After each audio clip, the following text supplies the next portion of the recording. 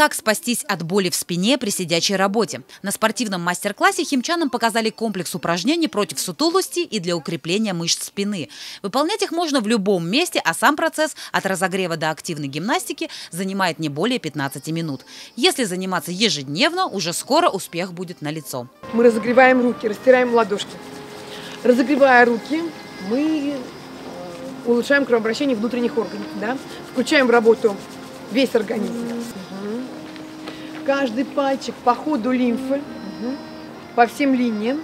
То же самое гоним лимфу по ходу, да, по ходу к сердцу. Подробную информацию о предстоящих мастер-классах можно найти во вкладке газеты «Химкинские новости», в социальных сетях по хэштегу «Химки интересно жить» и на специальном сайте eventadmhimki.ru.